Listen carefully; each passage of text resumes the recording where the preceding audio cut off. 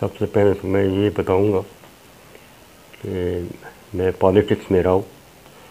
From 1971 से लेके 77 तक एयर मार्शल अफजर ख़ान के साथ as president and F P और जब मार्शल आना गए तो I resign from the party and politics the system of electoral roll was very defective and it is still defective. फिर 94 में 93 में एक इशू इरप्शन हुआ था गिलगित के ऊपर regarding the judgement and declaration given by the supreme court of Azad Jammu Kashmir जिसने verdict दिया कि Chitral Hunza and up till Mansehra जो कि ऑलरेडी एक एल के पार्ट एंड पार्सन थे। इसको भी इंक्लूड कर दिया गिलगित के साथ, और मैंडेटरी कर दिया कि ये भी जो है, ये हिस्से जो है, ये गिलगित के साथ है। और गिलगित का जो स्टेटस था उस वक्त, वो रेजिडेंसी थी। And it was not declared province or any portion to constitution of Pakistan. इस चीज़ ने मुझे बड़े दबाव में डाला। So I went into research इसकी ओरिजिनलिटी की ये इन्होंने फैसला क्यों किया? After my deep research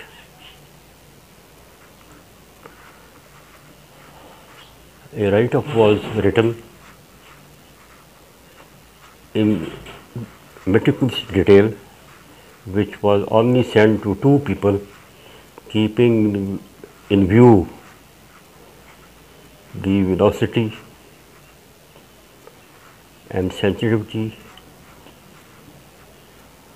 of the situation to the then Supreme Commander, the President Ghulam Isa Khan and Chief of Army Staff General Wahid Abdul Wahid Kakar.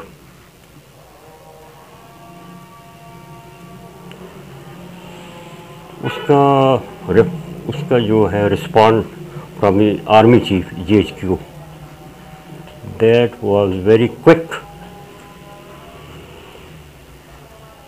और वो जो राइट अप है it was dated February ninth 1994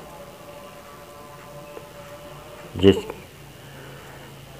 I received a call from the, the then CGS general फ़र्क वो क्योंकि वो यहाँ core commander रह चुके थे तो उन्होंने मुझे कहा कि आप इस तरह करें कि आप आज ही आ जाए तो we can discuss the issue मैंने कहा जी इसको एक दिन डिले कर लें मैं आ जाऊँगा। And I will bring on the references which I have हमारी मीटिंग हुई, जिसमें army chief D C G S and joint staff chairman joint staff committee Farooq Feroze ये सब शामिल हुए। उधर हमने जो स्टेप्स जो हमने उठाने थे वो हमने सजेस्ट किए, वो स्टेप उठाए गए। और हमने सबसे पहले जो इशू था वो ये था कि आज़ाद जम्मू कश्मीर सुप्रीम कोर्ट का जो फैसला था, उसको हमने सस्पेंड कराना था from supreme court of Pakistan. But उसके लिए हमें ओरिजिनल डॉक्यूमेंट चाहिए थे। और वो हमने जहाँ से हमने पैदा करने थे क्योंकि सुप्रीम कोर्ट को एविडेंस चाहिए थे इन ओरिजिनल शेप में। वो हमने जहाँ से पैदा करने थे, जिस तरीके से पैदा करने थे, वो हमने ऑन रिकॉर्ड प्लेस किया। और वो जो वर्डक था, वो सेटिसाइड हो गया। और उसके बाद हमने जो स्टेप इनिशिएट किए थे we introduced all the political parties of Pakistan into the area Gilgit agency में हमने फोर्स किया। लोकल बॉडीज इलेक्शन कराए। उसके बाद प्रोविशन प्रोविशन असम्बली का इलेक्शन कराया। और प्रेसिडेंट ऑफ़ पाकिस्तान के ज़रिए गवर्नर जी भी अपॉइंट कराया। मगर एक नकूना जो रह गया है, वो है recognition of Baltistan as province of Pakistan under article one D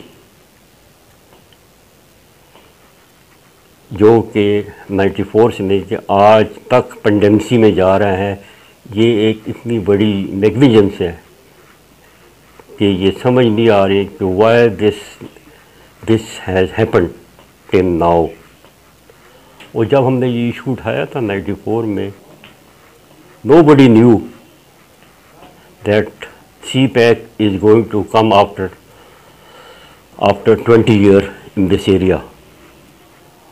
But the powers, those who matters, they had the knowledge इसीलिए इस एरिया को उन्होंने डिस्प्यूटेड रखा हुआ था और अगर हम 94 में इस इशू को रिज़ॉल्व न करते तो नवंबर 94 में a new country would have come into existence on the world map जिसका मैं ज़िक्र इस वक्त नहीं करना चाहता हूँ which may which may hurt the relationship of Pakistan with many friendly countries thank you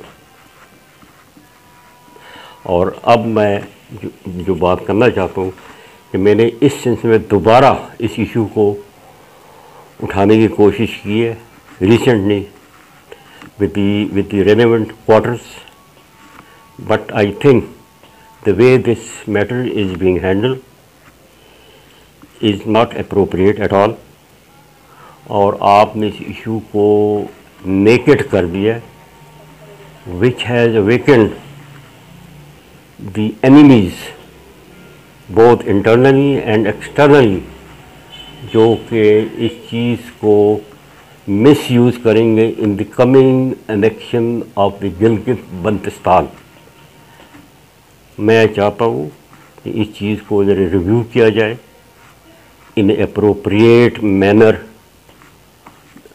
so that no negativity activities should take place जो हमारे कॉज को नुकसान पहुँचाएँ और सी पैक को को हर्डल पैदा करे और हमारी relationship with the neighbour country को अफेक्ट करे। Thank you